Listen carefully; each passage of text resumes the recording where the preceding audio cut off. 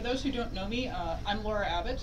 I'm one of two Fedora kernel maintainers, the other being uh, Justin Forbes uh, right there. Uh, we are two full-time engineers at Red Hat whose job is to maintain the Fedora kernel. And uh, this is a session I called Fedora Process Review, but I really want, I don't have a whole lot of content to actually present because I was hoping to be able to get, the purpose here is to get feedback and discussion for people who have topics um, they wanted to discuss. So uh, the way I want to run this session is to get a list of topics and then hopefully and then get an idea about where we want to want to start discussing for uh, the two hours. Okay, so um, who has a topic they would like to discuss? Okay. I know you do. Where did the, the okay.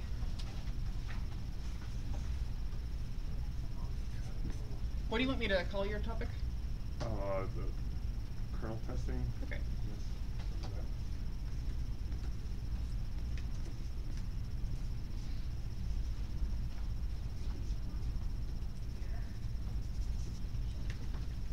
Um, any other one have a topic they'd like to discuss spec- specifically?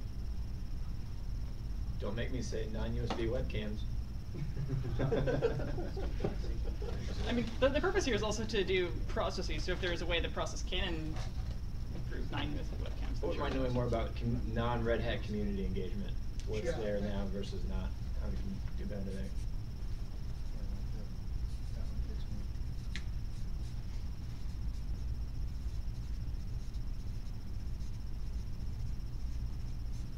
Okay. Anything else? For, for anybody who's new, maybe just a quick primer on what it is that is happening right now, like what the, what the kernel flow is. Okay. Um, other packages. That's a good one. I'll probably start with that before we get to any of the other topics, and then. Awesome. And then I'm curious if the kernel is gonna make use of any of these, this arbitrary branching stuff. Like if we're actually gonna get multiple streams, whether anybody wants to think about that or not.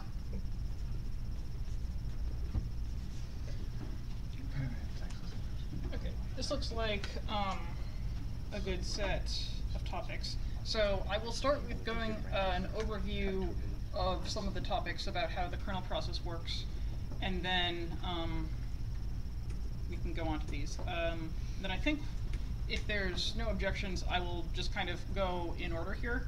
I will probably see if we can try and limit discussion on some of these to, I'd say, 20 minutes first, and then if there's still engagement, um, we can continue continue going just so we don't get rat holed um, too much, and we try and have a smooth flow. So.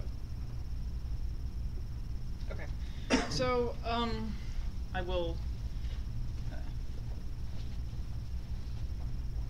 For the people who are watching this recording, um, I'm sorry, this may not be a great session to try and watch remotely just because uh, it's intended to be a discussion session. Um, if people who are trying to talk would like to come up and use the microphone, we can, but I don't think this is going to be very effectively recorded, so I may just give up. Um, could everyone hear me when I was talking uh, without the microphone? Yeah. Yeah. Okay, good. Yeah.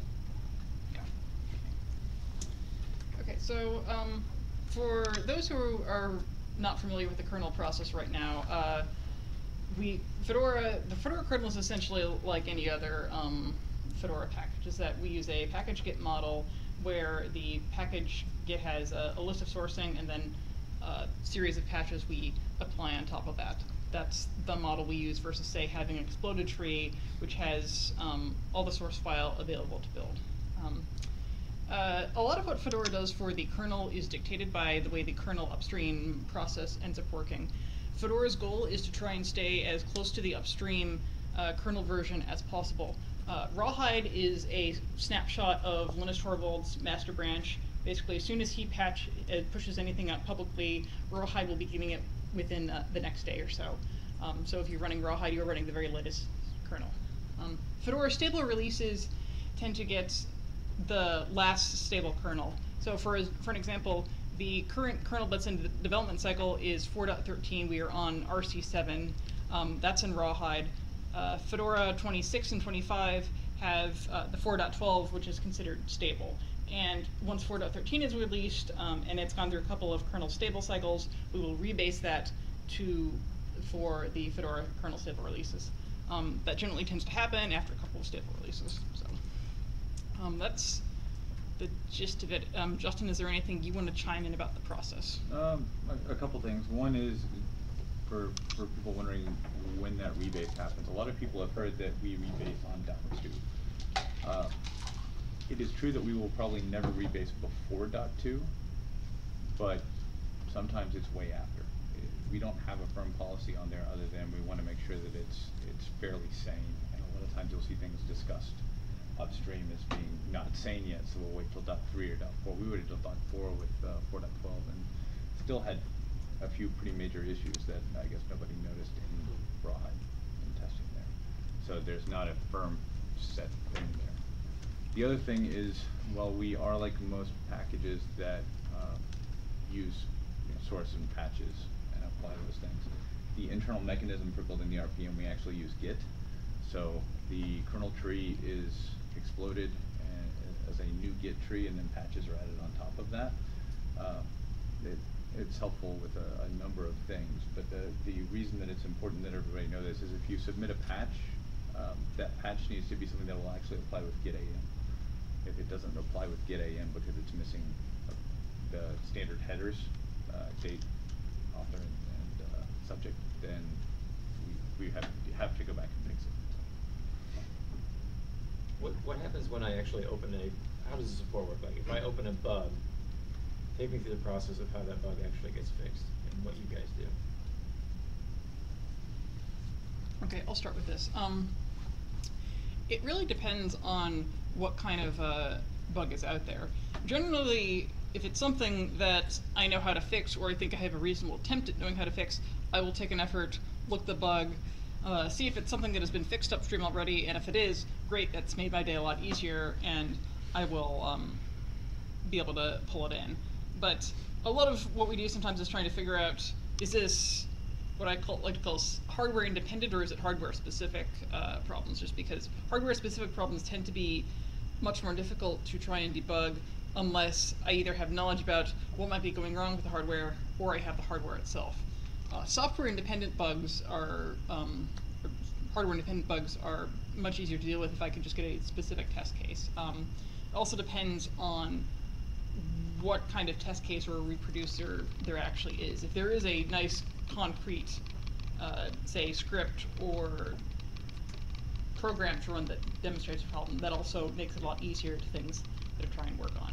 Um, uh, so that's roughly what I try and figure out. Um, suspend resume bugs, unfortunately, a lot of times, which are pretty popular, tend to be hardware specific, so those tend to get left to the side.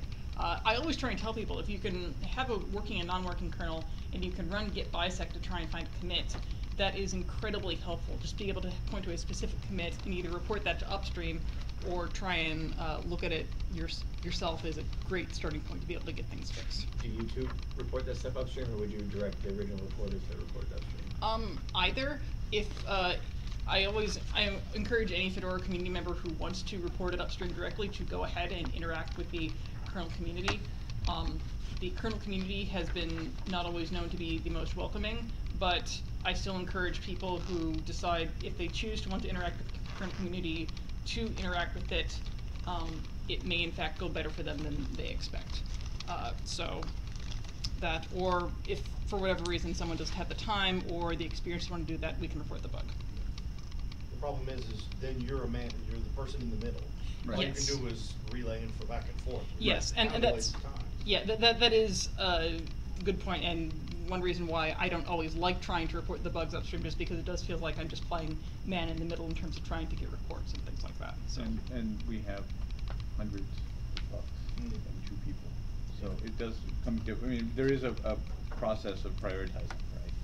This is something that really needs to be addressed quickly, we need to try to get people on it, or we need to fix it ourselves, or, uh, this is affecting one user that it, it's not critical, you know, his sound's not working right or something that, you know, we'll get to it if we can. Um, and we certainly are happy to, to monitor upstream and, and pull in a patch if it fixes that, but it, it doesn't get as much attention. And I'm- I'm also curious, so I, I know it's just two people, and this is gonna sound like a loaded or angry question, I don't mean it that way at all, I mean this very introspectively. What do you two consider, you know, since it's just the two of you, for a very fast-moving distro, what do you consider, uh, doing a good job? Like, what does that mean to you two? 'Cause it's probably different than the rest of the packagers. Um, well, uh, Oh, sure. I'd probably say um, getting out, getting out a release that I'd probably say is booting on on everything is at least a good, pretty a, a starting point. This is seems like a low bar, but there are some bugs that will not be able to boot up um, at once. So I'd, I'd like to see that, and then I my hope would be is, is that success would be on classes of common hardware.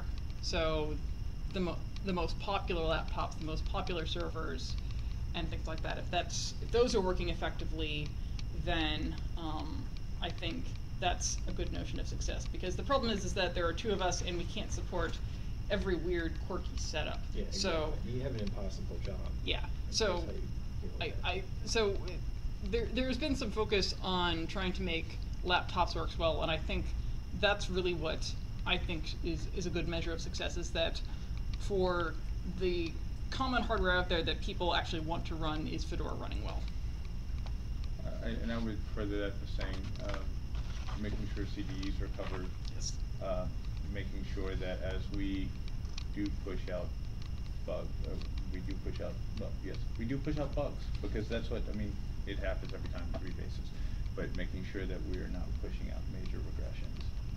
Uh, But that's the racket of software development. We create the bugs and then charge people to have them fixed. Yeah, but see, we don't get to charge people, so. Oh, that's good. Um, so I think that's probably a general overview of uh, the kernel process. And if there's nothing else major, I'd like to move on to topics. One quick question. Yes. How different is the Fedora kernel from the upstream kernel? Uh, that's a good question. Um, the Fedora, for Fedora kernel just carry uh, tries to minimize the number of patches we carry on top of it. Usually, the patches we tend to carry are a lot of what I think of are, are quirks to try and make things a little bit better that maybe upstream doesn't care about. Um, we do carry some large out-of-tree patch sets. Currently, the biggest one is uh, Secure Boot, although we are making progress to get parts of that in. Uh, when ARM64 did not yet have ACPI support, we were carrying that out of tree. Um, so i I like to think of at the core level, Fedora is very is similar enough to upstream that you should be that we sh- almost always report bugs and they are relevant to exactly um, what is up there. But we're all, and the other thing is is that we hope that the patches that we do have tend to be short-lived. At least there's we get a lot of churn where say someone points out a bug and says this is there's been a fix from upstream. Can you bring this in? We bring it in and then maybe it drops out when it comes Yeah. in with the next uh, stable release or two. I see eighty-four packages on Fedora twenty-six and fifty-six in Rawhide. Yeah. It's The really- kernel is not a lot, not at all. No, and really you have, um, like, uh, the, the ARM64 stuff is moving really quick right now for hardware enablement, and things like that. So, a lot of times there's several patches that are gra- grouped together in one patch there, but it seems that pretty much every rebase, as many leave, as many leave as are coming in, so it's a, it's a pretty steady thing, but we're only carrying things that, that are destined for upstream hardware enablement. Okay. Anything else? How heavily used is the I three eighty-six, I three eighty-six kernel? um, it's the people who use it. It's it's used by I'd say a handful of people who steadily use it. We are not seeing a lot of new uses of it. I would say. Um, as far as actual numbers go, it's hard to say. Yeah, how can you tell?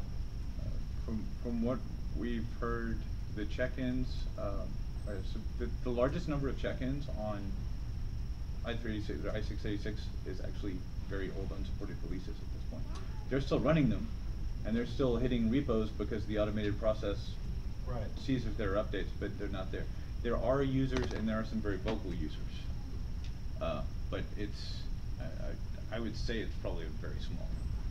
Certainly not on the scale of ARM or x86 64. Do you think ARM is more? It's much bigger. Oh, Um, really? ARM is harder to measure though because of the, the types of devices those are. You know, you've got all those little ARM boards like uh, Raspberry Pi or whatever that you're, you know, I've got three of them in my house that are running music servers. They don't update. They don't check in, they don't update because they're not connected and you know, they're only connected internally and there's no reason to do anything until I'm ready to reimage them with something else. Right. How are the config options for the kernel chosen for? Uh, we're actually going to spend some time um, talk, talking about that. Uh, but the short answer is is that uh, we make a best guess effort um, when new options come in and we set them. Uh, a lot of the options that have been set have basically been sent there since they first came in, so many kernels ago. They have not really been reviewed. And one thing, things um, Don's going to talk about is that what we're looking to try and do to hopefully improve some of the, the cycle about that and hopefully maybe get a little bit more review from people who care about. Uh, if you have an interest in any sort of um, con kernel config being turned on or off or adjusted, um, feel free to file a, a Bugzilla. Uh, chances are, if it's if we may not know why it's set, but if you can come up with a good argument why it should be set one way versus the other, we're happy to set it. There I mean, do- we do have people occasionally say, can you enable this? And there was a valid reason for not enabling it when it came in. It was something that either came in through staging or came in as um, unstable or experimental and it wasn't turned on and then when it became stable uh, supported, we never revisited that because it doesn't show up as a new option and nobody's asked for it, so.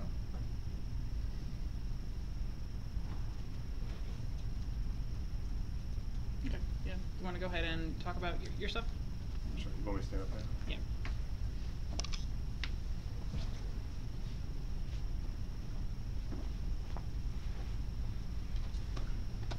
Hello, my name is Don Zickus. I'm from Red Hat. I'm a kernel engineer. For those who don't know me, I do recognize about half the people in the room. So, uh, one of the topics I want to talk about today was kernel testing. One of the new initiatives we're doing at Red Hat with uh, Atomic Ho uh, Fedora Host, Tom Fedora Atomic Host, the fast-moving host initiatives is uh, the kernel's going to be moving a lot faster. We want to make sure these things are stable. So one of the things we want to do at Red Hat is to provide a lot of our uh, kernel testing for Fedora. The idea is to kind of help stabilize Fedora to support this initiative, this project. So Red Hat, as you probably know, we've had for years a lot of testing, internal testing that we put on the way for uh, the RHEL kernels we produce. So we want to start moving that, some of that to the public arena, start testing that on the Fedora kernels, and providing some value and community service back to uh, Fedora on, that front there. Uh, to go a little bit further to help support it, we were looking to do kind of mimic what the Int Intel BuildBot does. For, for those who aren't familiar with it, uh, Linux kernel mailing list, they don't post a patch within four hours. Intel's got a machine that goes and takes your patch, builds it, and tells you if it builds properly on a variety of config options. We're looking to do something similar with uh, patches. We'll test them internally on our, our machines uh, and tell you if these patches um, at least satisfy uh, how we configure our kernel and provide and let the community hopefully fix those bugs early on rather than have them trickle down the door and have them get filed and languish for a while. We think this will be uh, help stabilize the Fedora community, the kernels a lot better than they are today, and provide some some value add to uh, uh, the community service and stuff like that. So one of the projects we did kick off, um, we put on Pagure is called SKT. Uh, I don't have a way to really write down that link, but on Pagure.io, I guess there's. Jeff, how do we do it? Is, it is, I think it's just SKT is a project name. Um, Sonic kernel testing, as we're calling it, and you, you should be able to. It, it's it's very early in its prototype, but the idea was sort of, it's going to go take a mailing list, build kernels, and test them, and then report the results back.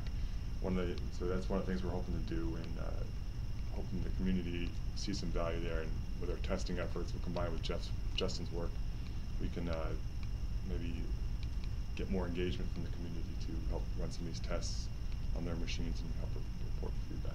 Yeah, it's just a fig- pagure.io slash SKT if you Yeah. want to write that up. I got it. Okay. Okay. Yeah. Um, and the, I think this gentleman over here, you asked a question about configs. One of the things that, you know, Fedora, Justin and, and, and Laura are kind of overwhelmed with some of these configs sometimes. So a lot of times it's the best effort on the initial config, and later on when uh, community comes along saying we need this driver, we need this feature enabled, they'll ask for it. So one of the things we're trying to work on is having you know Red Hat engineers get engaged in some of these configs and say, hey, you know what? From our experience, we've learned these config options. If you tweak them with this setting, you get um, better value, better support. This, this feature is interesting. The community probably wants this. Um, these settings are probably a little bit better for the community, the community wants. So we're gonna start hopefully providing value there and, and adding, uh, doing our own internal review and providing suggestions to the Fedora community. And, uh, hopefully, uh, they, they see value there and, and accept them, otherwise we can have a, you know, conversation about the technical merits of that and stuff like that. So we're hoping to help, and, you know, kind of offload some of that, that burden off Justin and Laura and, and put some, you know, Red internal folks, uh, involved in that. I think that covers what I wanted. Any thoughts, either you? What I should add? The next phase of, uh, of SKT with Bisect. Okay, so our SKT project right now is, just- is pretty simple, it just kind of takes kernels, builds it, um, internally, uh, and runs a test suite on them, on our, our machines. And of course, then if the test fails, one of the value add is provide, uh, email feedback to kernel.org and have those guys, you know, like, here's a test we had, here's a failure, can you guys help fix it? And the idea is if we get it early enough, people posted patch can respond appropriately. Um, this failure feedback only works if, if you can kind of, it works great in the patch per level, but if you're doing it on a, on a, on like a, a a kernel, uh, Git tree, sometimes you need to do a bisect on there. You gotta, you gotta start bisecting patches automatically. We're looking to build that logic into SKT to help with the failure case, so we can narrow down a commit, respond appropriately, so that it really helps engage the kernel.org folks to say, hey, look, okay, this is the exact commit, here's the test that's failing, okay, we can, you know, logically think about what went wrong and produce, produce a corrected patch. I think you have a question back there. So Don, is this separate then from Adam Williamson's open QA efforts and trying to automate all of that, or is that gonna be built in with that framework, are you gonna need other hardware? Uh, I think it's the same thing, except, uh, I think we're using Red Hat resources, he's using Fedora resources. We, but I'll have to have that conversation with him, I think, It's two different efforts two different efforts. at, at, at, right now. yeah. But, but they should be complementary. Um, Yes, So I, I absolutely. was just talking to, um, uh, Pierre, right before I came in here, he's been working on some of that stuff too, and, you know, it, it sounds like we can integrate all of this into, uh, so they're complementary to each other. I'm sure we can. Yeah. I mean, Well, we're, we're all. So, so it's kind of a lead-in question, so then my next one is, do I need a name to talk to to make sure that they have hardware, cause I'm awfully interested in alternative architectures. Um, well, I mean, uh, you obviously understand what, what, what hardware Red Hat has. Yep. So if, if you want folks like Adam to participate and run, you know, on public hardware, it's probably a good question to ask him. will Adam be running the SKT then? Uh, As of today, I, I- I haven't had that conversation with him. We, we haven't gotten that far. Oh, yeah, Um, alright, so well, I'll stay in contact with both sides and. So see- let- let's take a step back, there's, there's running a test, what we're doing, SKT is gonna do on, you know, capturing upstream kernel, uh, like, like NetNext, or maybe some of Linus's trees, so we're catching different Git trees there, and then running tests, whereas OpenQA may be taking a standard Red Hat or Fedora RPM and running tests on there, so at the end of the day, we're building something and running a test on there, and, and Adam might be running a similar test on a, a standard Fedora RPM, so he may never come around to running SKT, but maybe I- if I have a conversation, it- it might, might make sense in his workflow. I have a, one, the Fedora requirements for CI/CD, um, say that the tests that, we run in, the Host pipeline, so on, they need to be available in Fedora, and- or curated in Fedora. Right, So so- that will, that will make it probably a slightly different subset of testing, also the hardware will be slightly different. Well, and Um, there's but additional The way I'm seeing it is also that, um, if we do gate, for example, every time you rebase, and we take a, uh, large test suite and say, no, you can't rebase the kernel, because it's gated, it has all these bugs and problems, that's not, it's gonna be right, but it's not gonna be productive. So by, by going all the way upstream, we actually give the feedback to the people who can take action. And that's almost a prerequisite to then maybe even using exactly the same test suite to gate ourselves further downstream, where hope by that point we'll have less to deal with, less gating, actual gating going on, even though the same test suite happen, uh, occurs. Yeah, and we do end up with cases where, you know, sometimes we do have to push something. So, Right. like the, the four twelve five update, we, when we, when we first filed four twelve four, nobody had, apparently nobody had been testing it right, because there were some pretty major issues that nobody had noticed until then. Uh, But then by the time, I got the, the first round of those fixed and, and I was, uh, putting four twelve five out there. We had to push that because there were security fixes in there that were actually fairly critical. So, QXL is still broken. There's a workaround for it, so it, it's not that critical that it's broken, but we had to push it. Well, so, so actually that goes into one of the questions I have. So, uh, SKT is available in Pagure now, uh, but it is something that's gonna be running internally, but the results of which will be made externally. So are those results being posted somewhere right now? Uh, right now it's done internally just to kind of get the pipeline established, but the, the goal is to kind of run public tests and somehow we'll find a way to put it, public, publish results publicly. Yeah. I'm sure Jeff can figure that out. And- But and for for the- example, some of the problems we run into is when we take the net next branch, and the net next branch fails, but it fails because it failed to boot because it's SCSI. Mhm. Well, it's not necessarily a net next problem. So we don't wanna spam net next with SCSI failures. We wanna send them to the person that We, we do have a way for, or we have a front end for the current test system that we're running in Fedora that, uh, it takes log files based on, on kernel build, and then it's got a, a status update. The status update on the front page is only updated from tests that are submitted from official test systems, not from anybody else. But you can click on a kernel version and you can see everybody who's run that test and submitted results, so you can see all the results. It doesn't tell you who they are, it just shows you of results there. There is a way that we could take the, the, you know, uh, some sort of a log file summary output from this system and import it directly into there. So you can look at a kernel and, you know, so especially if we can, you know, find a way to, to mark it as this is SKT results, then you could just look and see. So that, that webpage would be like, it's a very crowdsourced way of getting kernel test results, even if, and some of which will be people, and some of which will be, in theory, bots. Right. Okay. So then my other question is, I guess this goes back, so let's say we get those results in there. One of the things that has, has still, it still confounds me a little bit on the Fedora side, and it's probably for Laura and Justin, is when you, when we find out that something is broken, how do we go about fixing those things, especially if there's gating in place, because there's only two of you? So gating can become problematic there, like I said, for, for reasons like I just mentioned, right? You know, QXL, I didn't wanna push out broken QXL. Yeah. But at that point, we'd had enough built up and there's a, a local loop that had to be fixed. So, uh, it- what we did initially, as soon as that showed up, you know, the first thing, it was posted upstream. We asked for, for help upstream. Mhm. We've gotten crickets, so now I'm bisecting myself in that building. Yeah, th- that's the big problem is I think we, we really rely on, um, upstream kernel developers who have, uh, much more in-depth knowledge of all the subsystems. Um, the, the Fedora kernel maintainer role is kind of a generalist role, and you can only, we, Justin and I, we can only do so much, so we really do rely on that. But again, the problem is that if upstream doesn't respond, then we're kind of stuck with not knowing exactly what to do, so. And and I know Upstream has no sort of SLA, but like, what is the common expectation for a bug? Is it usually a month turnaround, six month turnaround, It- week? A lot of times it depends on the severity of the bug. Um, And who it's irritating. Yeah, so some bugs, you know, we get less than twenty-four hour turnaround.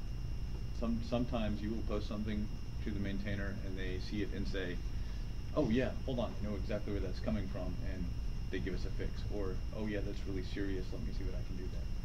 How- How many times is that one of our guys? That's holding up the fix. No, that is doing the fix with a twenty-four hour turn, like, cause I know that we, you know, I, I don't know how many upstream maintainers we have within that Red Hat.com, but I know it's a bunch. Yep. I, I would say probably less than half. Really? Okay. our guys. I mean, it's And- And it's not just, you know, it, it really comes to who's maintaining the code. A lot of times, if it's, if it's driver stuff, um, you know, it's, it's whoever's working on that driver. I know Red Hat's got a lot of networking books. Yeah. You see a Yeah, of networking stuff, And um, Virt stuff will be come from Red Hat, but Yeah. outside of that, I think it's, uh, the community. And there's some things that we just honestly don't triage, like ButterFS is, you know, I- I- Do we even still have that enabled? Oh, yeah, Yeah. absolutely. Yeah, Fedora has a very different approach than RHEL in that, you know, we're going to enable as much as, as we can because people want to use it. Mhm. Um, and because we don't have support SLAs, then, you know, if it breaks, You can just ignore it. right, so, uh, you know, ButterFS for a while was, hey, this is great. And then it's, it's kind of gone in a different direction, so, um, you know, it's enabled and I don't see us turning it off for any particular reason. But we also don't have resources to look at the bugs and the resources upstream are, um, frequently interested in other things, not the types of, of use case bugs that desktop users are seeing right now, so. Okay. Any other questions? So what, I guess, what are, like, in terms of getting, I mean, did, did, I guess, just to, to go back to getting results into, what was the thing you were talking about, the results? The kernel test, we, there's a, an app called kernel test, the Fedora app. So right now, that we've got this other test suite, that's a, it's a quick test suite, um, that users can run and that we run on everything. So it does things, uh, it, it checks a few common cases. Um, unfortunately, we, every time we ask for community help to submit tests, we, uh, usually we'll get a couple people say, oh yeah, well, we'd, we'd love to do that, we'll write some tests, and that's the last we hear of them. It's hard, yeah. So, it is, I mean, it, it, it's hard and it's not a high priority for a lot of people, but, you know, hopefully this, this will, you know, work better with all of that as well. Um, but right now, users are running that and submitting results, and, uh, we even actually hand out badges for people who run kernel tests for us, which is more of a motivator than you would think. Mhm. Um, we have a lot of people running tests just to get badges. And it, it's cool, you know, they- then they run it on various hardware, and because you, you get increments in those badges, then there are people who test every kernel. Uh, and, and that's, that's fantastic, so if we can get something better out there. All, all we have to do though, to, if there's some sort of a summary that comes out of these tests, some sort of a summary log file, then really we would just change, uh, we could change a header and do a slight change to the app and the, the database to take those results and, and add them and mark them. So does, does that sound like a reasonable endpoint? Yeah, so one of the things I just wanna, people may not know, but specifically the kernel generalist team is contributing a lot of tests to this project called LTP. Um, if you look, you'll, you'll see a, a, a lot of brand new tests being added by Red Hat Associates. And specifically, this is one of the ways that we're looking at using a, uh, a test suite LTP. So it may not go into like a Fedora um, dist-git or an upstream dist-git repo, um, but yet the LTP project is adding, we are adding tests directly to that, and that is one of the test suites that we will run. Mm -hmm. So indirectly, you get the test. And these are one of the contributions we can make to Fedora. Is like we'll help. I'm sure there's a, a wiki page or some sort of page upstream that says how do you get involved in Fedora kernel testing, and we can add is how we run tests, we can, you know, run with your test suite, we can tell them, explain how to run LTP tests and contribute results, and maybe we can run a thin, thin wrapper around LTP to kind Well, of pull the results. yeah, that's really, all our test suite is, is it's a, a number of subdirectories that go through and, um, there's a run test.sh in that subdirectory and it will, it, can, it, there's no reason it can't pull down things, like even the, the NVIDIA driver test we have, just to make sure that it's working. Right, right. Um, actually checks to make sure that you have the local, the latest package downloaded. Uh-huh, and if it's not downloaded, then it'll go download it and then just extracts the kernel pieces to make sure that they build against that current kernel. Uh, it fails most of the time because we're testing on Rawhide and NVIDIA does a once a month release and only supports release kernels, so it fails a lot, but at least we know it's failing and know it's coming, so before, before rebase happens, we can say, uh, this is, this is a concern. Uh, you know, obviously, we don't support that driver at all, but we know that people use it, so. Um, it would be very easy to say, all right, we'll grab all, we- right now we have some subsets of LTP and it would, it would be easy to say, all right, um, for people who wanna run the more extensive test suite, grab all of LTP and run it. The, the good thing about LTP is you can create conf files, and the conf files is what you can execute with PAN. So, you know, we can provide a conf file that is the same one that gets executed, and people can grab it. So this is just what we use, but. Right, Yeah, that's we, right. we could throw that file in the, you know, in the test, in that Yeah. test suite. Yep, I've never exactly. seen this. Is, is this difficult to do? The kernel As a test? user, just to run these tests? I mean, you boot the Get, kernel get, check out the package test and hit run test.sh. It's not hard, okay.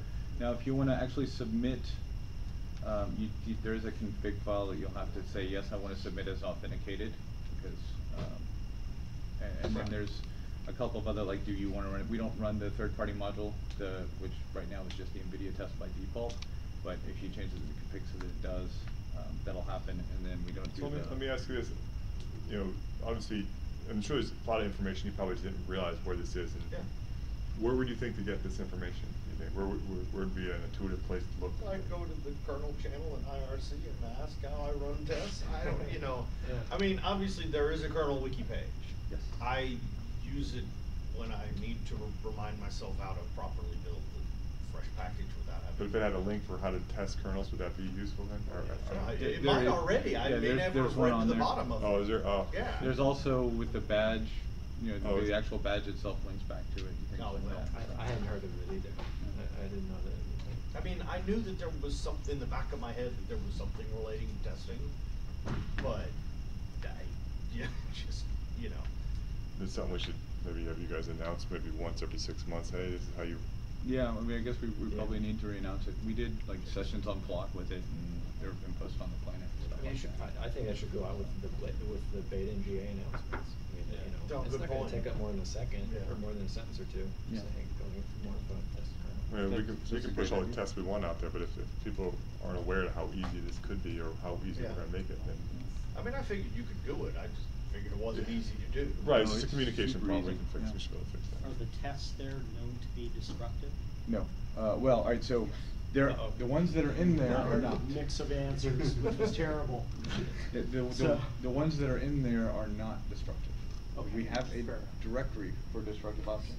Yes, there is a disclaimer which says if you run these, it might just break your heart. The stress test.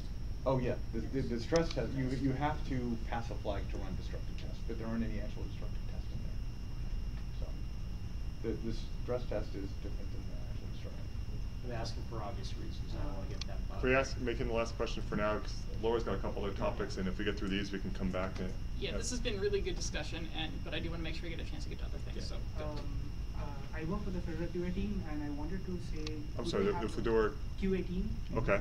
So I wanted to say, uh, if there's a way by which we can have a kernel test day for release, so just after the mass rebuild and the rain date, uh, could we have a kernel test day? Yeah. Specifically, Yeah. Yeah, Laura and Yeah, I used to run already. them for Virt, um, we can do them. We would wanna wait until, like, F twenty-seven is gonna be based on, on, uh, four thirteen. Mm. Right, because four fourteen won't release until after, so we'd wanna wait until four thirteen was probably, yes, RC six is there. uh, RC seven should be there. Shouldn't it? Yeah, RC seven, I thought I should have been there, but, um, I, I think in general, the answer is, is that, yes, this sounds like a, a good idea, I think we'll just have to fi- find a, a good time to do, s- do so, so that's a good suggestion. Yeah, I've, I'll, I'll set one up, cause we, yeah, ran them for all the time before, so. I do have a, a question, uh, maybe a suggestion. It sounds like that Rawhide is the expected staging area where a kernel will go that is at a very minimum bootable. And then it's expected that people test it, find problems with it before it becomes stable. Um, as we get Rawhide in better state for all the other packages, that will become more a thing. Right now, everyone's just avoiding Rawhide. We don't see that value. Um, Heard someone's working on it, though. yeah.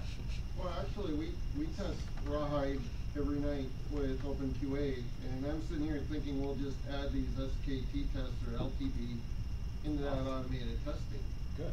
That'd So the fantastic. suggestion is that perhaps on the, on the, where, where we send people to, suggest them to, where they can engage with kernel testing, we have a status bar that says, here's how much of this test we passes so far, or here's some, is there some way of measuring progress? Cause if it is green, we can gate on it by the time it gets to that point. Like how, is there, is there a, a subset of the tests that people run and then report bugs on their hardware, or some, some way of measuring progress? Sort of like how the translators have this, yay, we're, we're getting ninety percent, we're, whatever. Right. So as it's in staging, people can feel a sense of, oh, I've helped make this go all the way over here.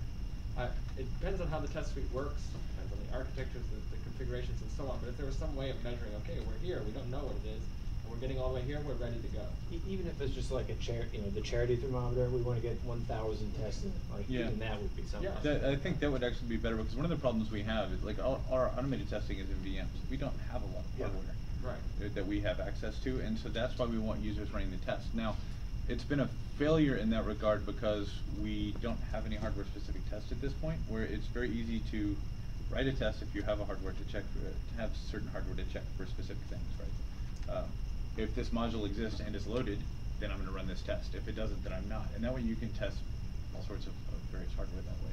But the, the idea is if we get people running it and then we also end, we end up getting tests for specific hardware things, uh, specifically problematic hardware, then, you know, you get people with varying Mhm. devices there running that test too and getting feedback. All right, we, uh, I know Laura's got some other topics, you Yeah. mind if I cut this off and just That's fine. revisit the? room? It's a two-hour session too. so- Yeah, it's a Oh, two-hour. oh, it's- I'm thinking it's one hour. No, it is a two-hour session, but I wasn't sure how long. I mean, we could. If, We can definitely come back, I mean. Yeah.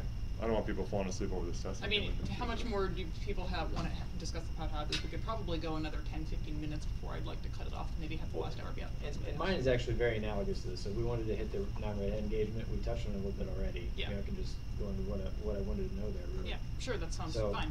we've got these tests supposedly in some future where we're now getting results and we're seeing things failing. Uh, it's an impossible f- task for you two to fix them, and so I'm trying to figure out, do we have any sort of kernel community in Fedora that we can engage and get to fixing these things, or is that the wrong place entirely? Would we just go straight to upstream somehow and hope that they would fix it? I've thought about this before, and for various reasons, I think it's difficult to try and engage the Fedora community to actually get, actually fix the bugs for, um, it, for most generic bugs. I, I think this is because the Fedora community is best at, I think, reporting and testing on a wide variety of hardware, but I think kernel development in particular is covers such a wide wide variety of areas. It's hard to be able to know where to begin, even for Justin and I who do this as a full time job sometimes. It's not an easy skill set to acquire. Yes, um, it's yeah, it's it's it certainly is a skill set people can acquire if they're interested. But again, like you said, it's not easy. Um, and what tends to happen is you tend to learn how to do things for one particular area. So um, I think trying to we wouldn't. I, I, think we're not for lack of bug reports certainly, but um, I think I don't think the mean, it's safe to say just by like, you know, a handful of people in the community that are not really fixing arbitrary Fedora bugs, but more of like, they're finding a piece of hardware they want uh, to enable or, or fix or get working, and then they spend all their time and push a bunch of patches upstream and want Fedora kernel to backport it. Yeah. Right. I'm thinking like What- Hans de Goede We, we do see example that, and yeah. we, we do see, I mean, non-Red Hat people in the community who are, you know, testing things all the time and, and do interact with upstream on, on behalf. It, it's just, it's a handful of people, but there are people who are actually actively making the Fedora kernel better, uh, on the community side. We'd like to see more of that. Um, one of the biggest issues is, you know, triage. So we did, a couple of years ago, well, several years ago, um, you know, Josh wrote up a whole, this is the triage process. And every once in a while, we'll have somebody come and say that they're interested in doing this. And, uh, they'll spend a couple weeks Yep. and, and do a fantastic job and then they disappear. Because it is the least sexy thing Yeah. possible. I mean, we, we don't have a sexy job. So. I remember you said exactly the same thing two years ago in Rochester. And I went and tried to triage like five bugs. And it's the hardest thing. It really is. Yeah, and I it's, mean, it's not just not sexy. easy. I mean, So. So even if, and I, I wanted to double check something, this is an assumption I'm making, but even if someone did come in, find a bug that was open in Fedora and submit a patch, like your charter is pretty much that that patch is going to have to be accepted upstream at some point. So at that point, either you have to do it or, or the patch just sits there unmerged, because you're not gonna merge it if it's not gonna be upstream at some Well, point, right? we're not gonna merge something that is not going to make it upstream, but bug fixes, typically if they're submitted upstream, uh, will, they will do one of two things. Either they will accept that and fix the bug and it, it'll show up in a tree. Unfortunately, because of some weird things in the way that the, the upstream maintainership works, it might not show up in a real tree until the next merge window and then get backported to a stable, but Right. we know where it's going at that point, and we're happy to take a patch.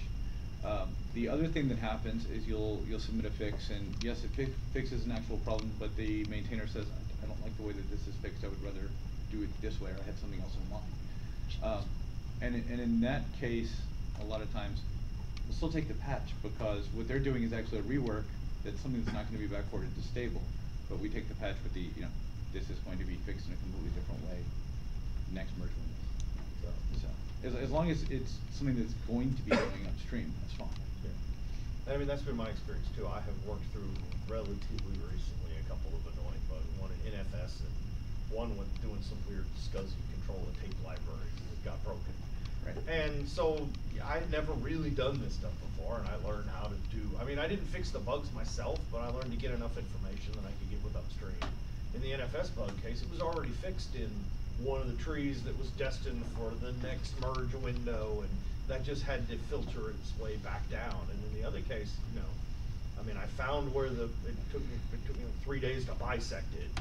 Server hardware is terrible to reboot constantly, but eventually I found the commit that broke it and trace that back to upstream. It's actually, once you have all the Git information, it's not hard to find these things. It's just, there's so much procedure and so many kernel recompiles, it takes so long to do, and It's it's, fun it's to have a tool to help you with that, right? Yeah. Well, I mean, perhaps. I don't know. I mean, there was a continuous integration for, for upstream, somebody, uh, the, the DeLorean thing that somebody was talking about yesterday. That basically gives you at every commit point a downloadable package that you can then test. So you don't, as a, as a user, just wanting to test these things out, you can bisect by RPM, not by, and I mean, for what we do in, I mean, the kernel, it would just be impossible. Right. But, um, you know, I pull the daily Git builds out of Rawhide and it gives me enough information to get two bisect points so that I only had to compile my own kernel in fourteen And times your, and your, yeah, your tape drive, Yeah. because of the work you did in working with, Mhm. with the, or the SCSI issue with the tape drive, Yeah. because of the work you did in working with the maintainers upstream and getting that fixed, Right, we had the fix out before we even tried to push the rebase. right. So you saved anybody else from ever seeing that problem. Yeah, but not that anybody would have, I They, mean. they may or may not have, Yeah, you know, we been, don't, we don't know know. what hardware people have. Unfortunately, there used to be a, a tool that would collect that information you could opt into. Yeah. And that went away, and there was supposed to be a replacement.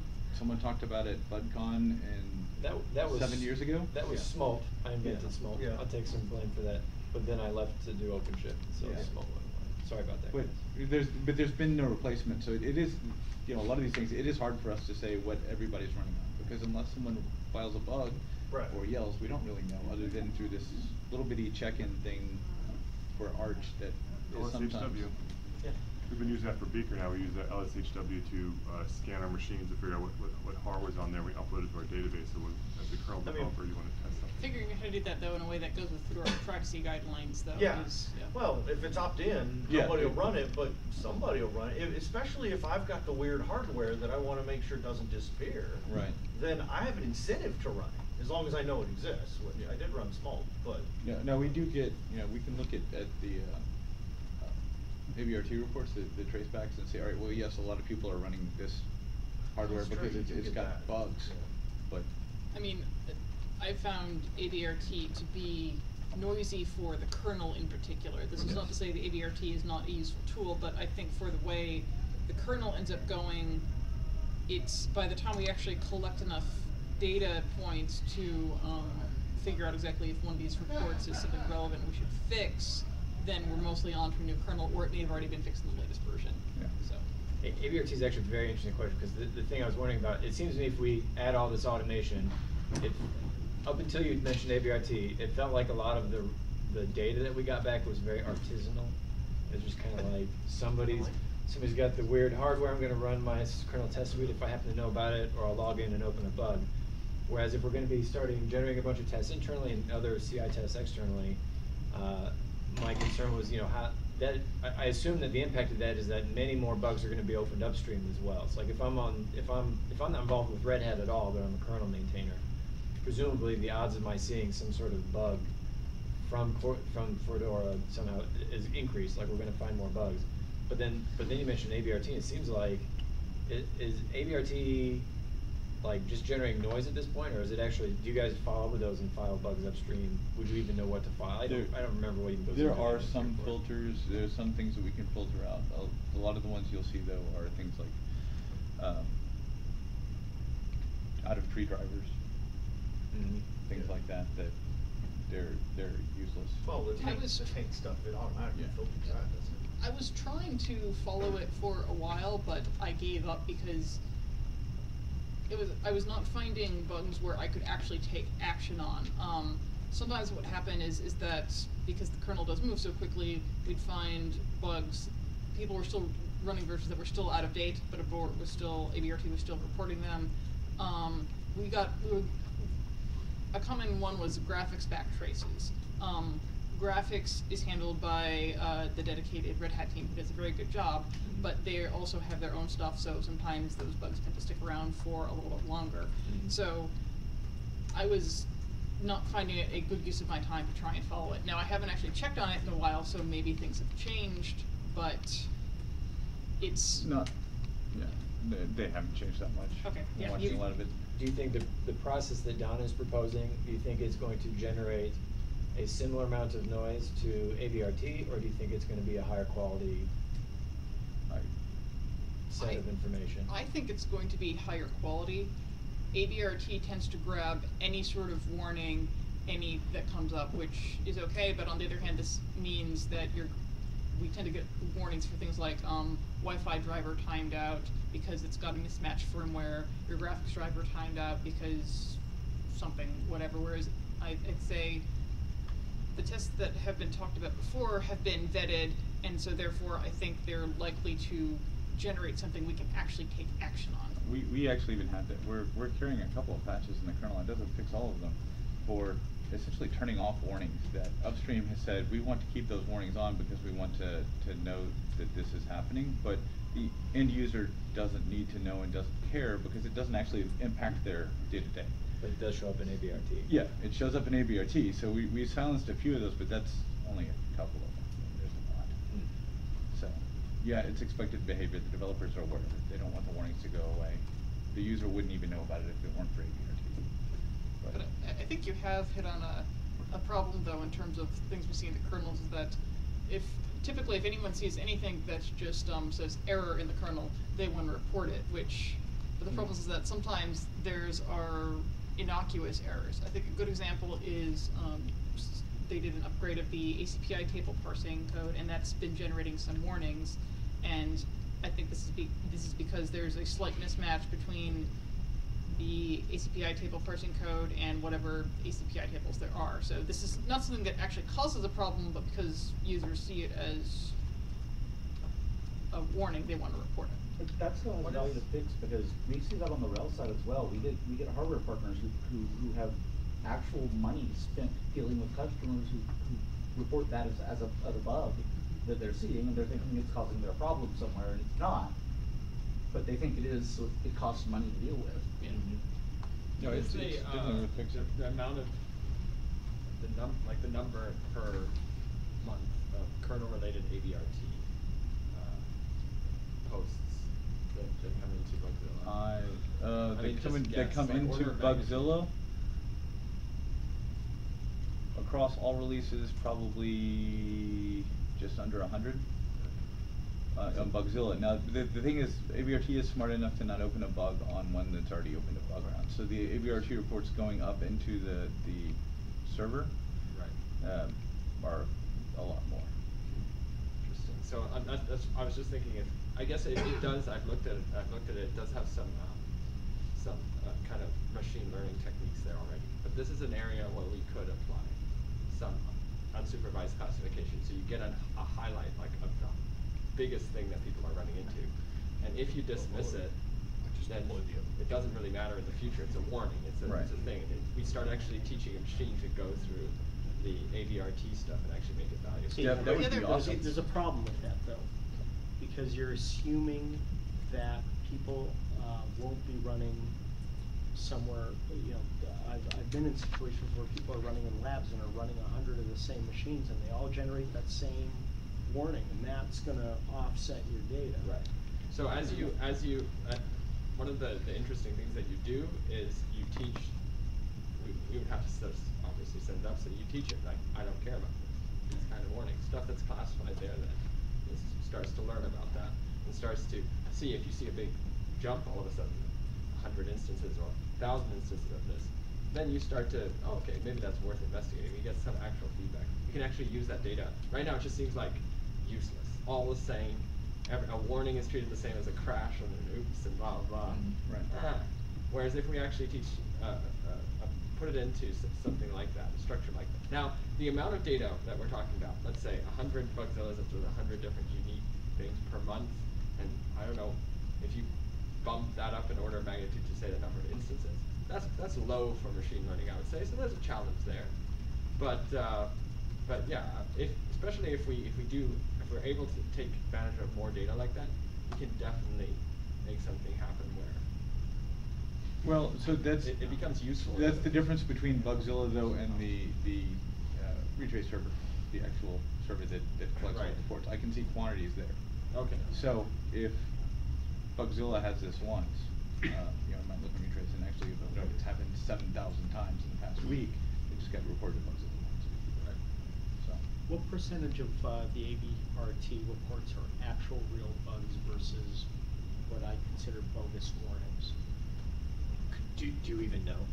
We have. Just off the top of your head. It's not an actual, I'm not, I'm not holding you to a real number, but just eyeball it. I honestly have no idea, cause I haven't looked at it in a while, you may have looked at it more I mean, recently. you, I, I look at them, it's, it's very hard to quantify though for two reasons. Um, One is you'll have a, a user that files the bug because ABRT prompted them to do so, and then they disappear. So we don't know if they ever saw it again, or if it was just, uh. Let me, let me ask you this in a different way. There, we have a lot of splats and warnings that come out of the kernel because bad bi- it'll report right in there, bad BIOS. I, I- I'm Yeah. asking about those, are those not even a situation for you anymore where you got, you guys si- see it says, oh, this is because your system has a bad BIOS and you just jump? Yeah, we, we tend to ignore those, yeah. Okay. We have- Okay, fair enough. I didn't know if that was causing you pain. That, that, that is some of, of, of that. I'd probably say there was a while when we were getting a lot of warnings, which is which even had the warning said, um, your Fix- bio your, your BIOS, BIOS is is saying you can I fix know the it. exact warning you're talking And then. I submitted a patch basically saying this is more or less saying this is annoying me. Let's just turn it into a printk, and Yeah. the maintainer accepted it, so it went away. Yeah. Right. I've done that more than a few times now, so. The, the other side of that though is we have, so there, there's a bug right now in the way that we are parsing, well, I, I, do- I think the bug is actually in the firmware. It's all, all firmware from, uh, is it AMI, I think, that's. Yeah, with From AMI, who's, that, that is running on laptops with hybrid graphics. And what happens, you, you get into, uh, and the way Power State works, you can do an LSPCI and crash your machine. So remind Do you me know about this bug? Remind me to mail Felix about that. Right. So, um. Uh, actually, Peter, do yeah. you know about this bug? Yeah, I mean, told me about it yesterday. Yeah, wait. You wanna? Well, I found out about it yesterday because we had a Well, I read- laptop that was locking up and the guy didn't know why, and he said it went away when I switched to NVIDIA binary drivers. And what he do, he had his laptop forced to use NVIDIA only at that point. Well, since then, it disabled the i915, he didn't have Apple graphics anymore. So we spent a little bit of time debugging and started looking, and there's a, there, there's a bug on kernel.org, on how do we handle this? And the problem is, it's not just this one HP laptop, it's HP, Asus, Dell, um, MSI, and a few other models, and the, the workaround that works for different people, which was ACPI, OSI override, um, yeah, two thousand nine was the right fix for this particular laptop, Windows two thousand nine. Uh, for others, it's just not fifteen. Gotcha. Or, yeah, not Windows ten. I, So- I, I get it. But it's all, it's all based on the same bug, and it just depends on how it was implemented inside that particular firmware. So I, I kinda wanna, I'm, ten- I wanna draw a picture real quick, Is I, Yep, go ahead. we're dealing with a, I just realized we're dealing with a funnel, so I'm gonna draw a funnel. I'll go back to some of the thing. So, as it is, we've got something that looks roughly like this, that comes in. And it kinda slinks down at the bottom, and basically somewhere in here is where upstream happens. Somewhere in here is where the Fedora kernel is.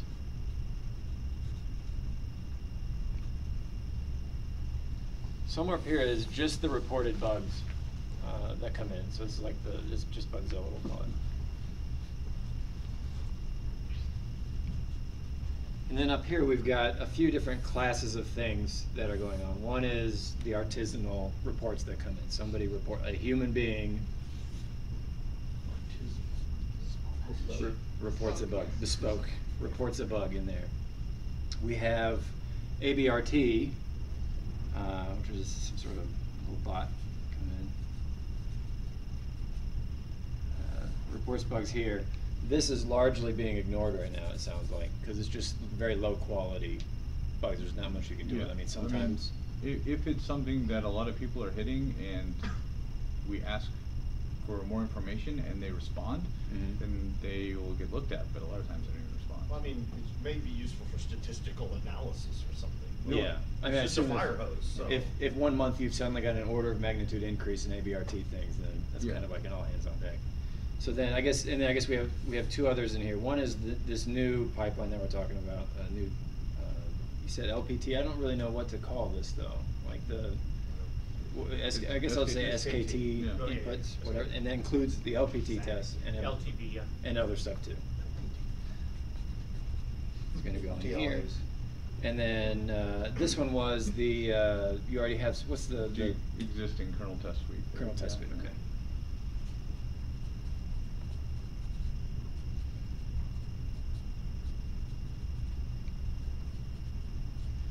And it's going in here. So at the very start, at the, the, the, the top of the funnel, we have all of this, we have a lot of stuff coming in. And depending on what happens here, and here and here even, uh, this probably seems like a much smaller number to me, like an actual physical person, but it's also the highest quality. Actually, I think you're gonna see a much larger number there still, uh, ignoring ABRT, uh, com- compared to the automated test suites. And the reason is, the automated test suites are not running on near the variety of hardware that are, right? There are thousands of models of laptops out there, Sure. and different models of computers that, you know, uh, they can have anything from just weird BIOS configurations to some sort of flaky hardware. We realized at one time a few years ago that there was a whole class of laptops that was made to hit a certain price point that after like six months of use, they couldn't keep up with their thermal demands anymore because they, anyway, it was That whole could be, class. that could be filled in Bugzilla, how much did you Yeah, spend on your yeah, laptop? Yeah, it's, but it's seriously, we, we we finally realized it came down to just these few models, and it was thermal issues. Sorry. So- Yeah, and how much human time was spent figuring that out A lot. yeah. I'm sure, yeah. So, and, and that's kind of where I'm getting into because this is a mix of, this, this, this is human input, but it's not us necessarily. This is Right. coming from outside. We've got SKT, which in theory over time, this probably grows a little bit as we add more tests. I assume we're gonna find more bugs. Uh, uh, This one here also grows over time as we get more users, and as does this. And so the funnel gets bigger, and my, my big concern is what happens uh, basically in between here, because we've got two people right now who are gonna triage all of this stuff. This goes back, this really goes back to the triage question.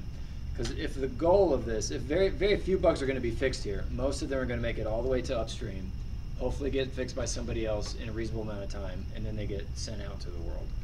And so my question is, if we greatly increase automation here, uh, that seems like it's gonna also greatly increase the amount of bugs that get tested here. And so, like, what, I guess the question then goes to, I mean, it seems like we're gonna have a triage problem, and we may already have that today. So I think one of the things that's, you, when you have upstream down the bottom, Mhm. SKT is going to also feed in directly there, right? SKT will bypass the whole funnel and go straight to upstream. So it's gonna do both. Y- y- yes, and, and, and we should be, the closer we get to the change, when the change happened, the more likelihood we are getting to have the developer that introduced that change to fix the problem. Right. Right, by the time he commits it upstream, a month goes by and it's merged in, and all of a sudden there's an issue and he's on to something else, it's a context switch and it's a problem. So as soon as we, if the immediate feedback, as soon as we can give him that feedback, the more apt he's willing, or she's willing to fix the problem. So then, at least, that's to so. solve the funnel problem, right? Yeah, it- Well, it, actually- it solves parts of it because in theory, if I mean maybe we can, uh, we haven't we haven't fully connected the dots between SKT and an actual Bugzilla report. I feel like we've got SKT going into some sort of result set that will be reviewed. Right. And it feels like at a minimum, if that results set's also going here, it's mostly a matter of waiting for upstream to fix it and then. Right, But so I the, the goal is to when SKT is run, because it's run on Linus's tree, and it'll also be run on, on next trees before they even get to Linus's tree. The idea is, yes, SKT might be generating more data, but the number from people, your artisanal bugs, and your ABRT bugs should actually go down considerably, because those bugs never actually make it to a shipping Fedora product. But, and the other thing is, I think the bugs that we will get will be much more actionable and concrete, just because, and I, and those will be able to get more attention from, like even Justin or I, or, or, or upstream, for some reason, they do make it further, um, and we don't catch it then. Um, on- like I said, it's, if someone manages to do a bisector and has a commit, that makes it a lot easier to look at things and be able to fix things out. I mean, I don't know all the kernel, but sometimes I can make a best guess effort of what might be going wrong, so. Mhm. Okay, so then, then that may be a less of an issue. And then just another question, so this sounds like garbage to me, just in terms of how we talk about it. Is there any sort of time limit on, like, do these auto close at some point, the ABRT bugs When they're, that- when they're released into lives. Is it? Well, no, actually, I take that back. So when we do a rebase, uh, we usually put out a mass bug filing to everybody. Mhm. Say, we rebased the kernel, is this still, issue still a problem for you? And we set everything to DWF. And if there's no response to that at all within two to three weeks, then the bug is closed. Okay. So, because we do, we do get a ton of people who file ABRT bugs because they were prompted to do so, but then they don't even, I don't even know that they get the emails asking for further information. And, and the reason I ask that is because it feels like, you know, you two get involved basically right here is where you guys are. And so the smaller that, the smaller we can make this, obviously the better, but bugs are bugs. So the, the next best thing is the highest quality information that we can feed to you guys, the better. And so if you're gonna ignore, I guess my, my, my big question was, if you ignore ABRT just because there's only two of you, then do they go away at some point, or does that mean that they just sit there and you have to, every time you pull the bug list up, you have to like ignore them again? Cause that, that's work too. Know, they go away, but you know, I also do most of my Bugzilla handling through email and not through. You know, I, I look at bugs that have been given updates in my email, you know, filtered for whatever release. Like right now, um, because I'm doing the 412 stuff, well, that's on F25 and F26. So I'm looking at F25 and F26, and then at security, and you know, whatever's got unread that I need to look at. Very rarely do I have time to go back and say, all right, well, I'm just going to troll Bugzilla and see what's available, you know, and see see what needs to be looked at, because I've hopefully taken a look at it when it came in. Yeah. Okay, that makes sense. Doesn't that also mean you can't go on vacation? Uh, yeah, I went on vacation twice, and then you spend three days catching up. Okay, that counts. So, and then my, I guess my, my final question before I sit down, I guess, because I'm, I'm, I'm confused. So, does SKT, is that gonna submit bug reports directly upstream, or is there some intermediary there too that just reviews the results? Bug report's is a bad word for it, I think it's more like, you know, patch feedback, it's like reviewing a patch, like, hey, we noticed your patch failed this test, here's a public test, here's the, the, the failure we got. Up to you if you wanna do something, and that's up to the maintainer if he wants to accept the patch. We're hoping that if we get it early enough, the ma- sub-maintainer will say, I'm not, I'm rejecting this patch until you fix this. Yep. And that Okay. would provide incentive for it to fix. Okay, that makes sense. And then, uh, and further on, with the human entering bugs, that, it's always been the CI/CD for e- just QE in general. The theory is that, you know, a human submits a bug, you look at the bug, like, wow, we should have, have this test case in our test suite, expand your test suite, hoping that over time, that you catch these issues early on, there's less human reported bugs because. Yeah, but a lot of those human reported bugs are on, hey, I built this computer out of spare parts Yeah. and The- something doesn't. These guys work. are the slow churn butter bugs. That's what It's- I, yeah, Nice, yeah, soft. I, I want to point that up. That's- I'd say it's not Homemade even ice spare cream. parts these days, it's that I bought this laptop and the manufacturer chose to use this really weird rated setup or chose Right. to have a very questionable BIOS, um. Right. Well, I mean, and, and sometimes it, there's legitimate bugs there. Oh, oh, they're I'm- I'm only- not They're that, only but triggered I- by, yeah.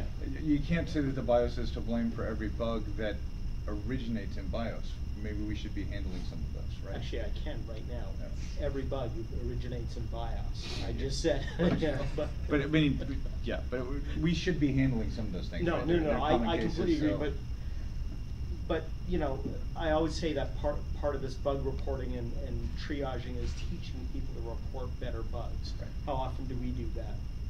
We do that all the time. Yeah.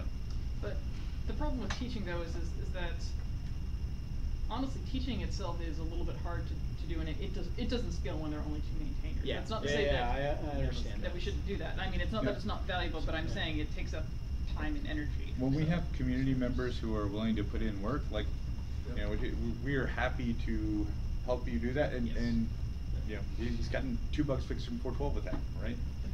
So, yeah, if, if community people are showing interest in putting effort, we're happy to take some time to help you do that.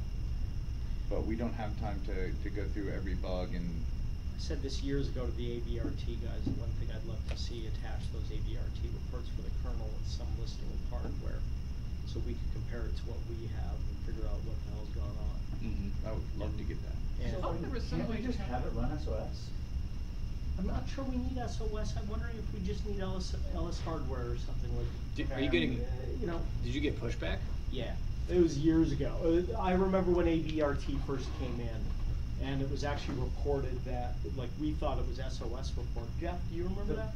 We were trying to figure out where the hell these things were coming from, and we went to the SOS report guys, and they were like, we have nothing to do with this, and then we discovered there was this whole new project, uh, doing this. And, yeah, we, we at least got them to be able to pin down the warning, and, because at one point they were just printing out one line of the panic. It was, it was pretty abysmal. All right. So, uh, at that time, this was year, again, years ago, maybe I should ask again and say, would you guys consider making Do this it. part CC ABM? me on it, 'cause I I, can- I, I mean, the worst thing they're gonna say is, no, we think that's too invasive or something. The That seems- ABRT team seemed to be pretty, um, Yeah. in, in, inter- and engaged before, so yeah, Yeah. that sounds. I, again, this was five, six, seven years ago, so Yeah, I never went we back just- to it. We just need a quick hardware list, and we need you to turn on their camera and take a quick picture. Nothing major. Well, it, really no, easy. And you could also, in the kernel test suite, say, would you like to report your hardware? The problem is, we do have users who are using pre-release hardware because that could they're doing development stuff, so how do you handle that? Well, What's part of their, but I mean, ABRT still prompts, like it's still part of the report, Yeah. and those guys ought to know better. Oh, yeah. And if they don't, that's on them. Here's one thing that, I mean, in doing the tiny amount of kernel bug triage I try to do, there's no standard format for people to use to report the hardware they have. I think Ubuntu has something like that. Like, if you're gonna report a kernel bug, please attach the output of this thing. Yeah. right. And we don't have anything like that, that we can even ask somebody to run. I mean, I'm sure it exists as a No, tool. we, well, we have the tool. I mean, We, we have tools that'll collect information. I mean, but is there a, s- is there a particular thing that someone is expected to type and attach when they, and attach the output of when they submit a kernel log? You know, 'Cause, I mean, yeah. and maybe there should be. Yeah, You that would be good. The, what the problem is, to give a, a default command would be collecting way more information than we would typically need on a typical, on, on a, any bug. True. But I guess it's that's, just sitting in that's an better, it's better to have it and not need it than need it and not Yeah. have it, right? So, I mean, yeah.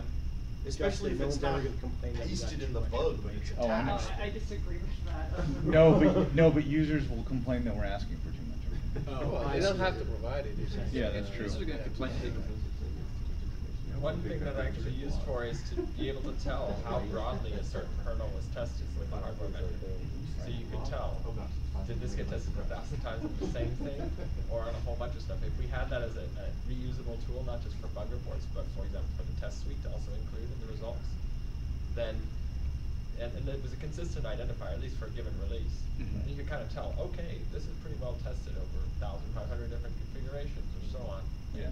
If, if. I'm going to the trouble of dealing with our Bugzilla and waiting for it to come up and typing in and going through the six steps that it takes to get to the point where I'm submitting the bug. He's making ice cream Right, then surely, well, two things. One is, if, if it's asking me for all the information that someone's gonna ask me, so there's no more round trips. It's like, Right. I gave you everything you need. Right. Um, but also, I've shown that I'm willing to give you information.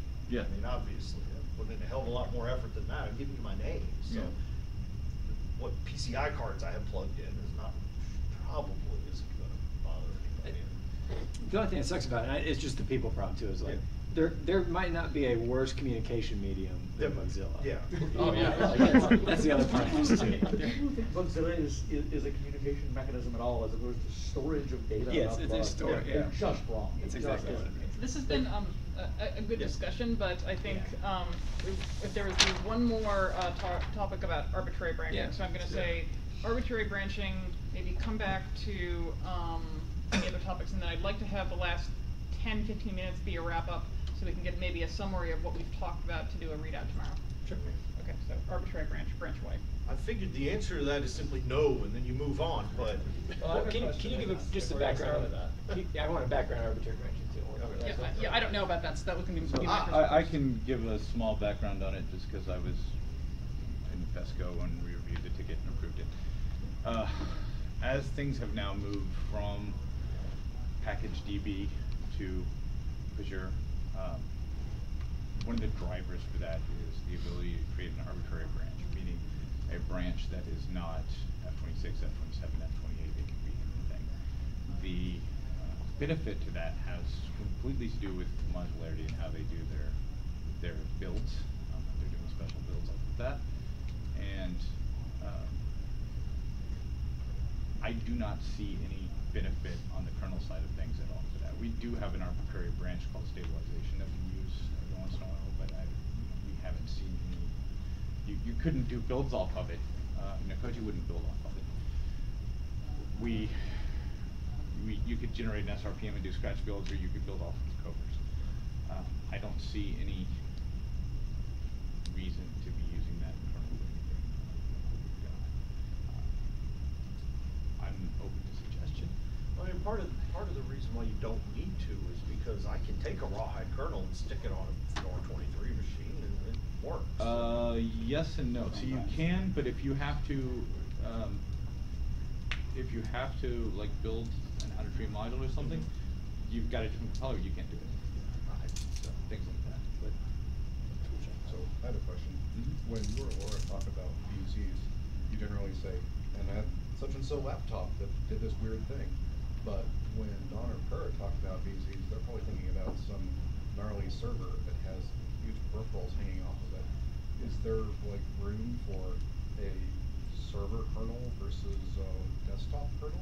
Is that No, uh, case? Install which one? So there's, there's two big components, I think, that, that differentiate a server kernel from a, a desktop kernel.